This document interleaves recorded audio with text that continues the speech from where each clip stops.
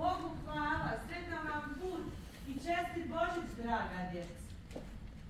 Ako još niste napisali pismo malom Isusu, napišite ga svakako. I nije važno kakvom ćete ga olovkom napisati. Važno je da ga napišete. Sretan Božić svima!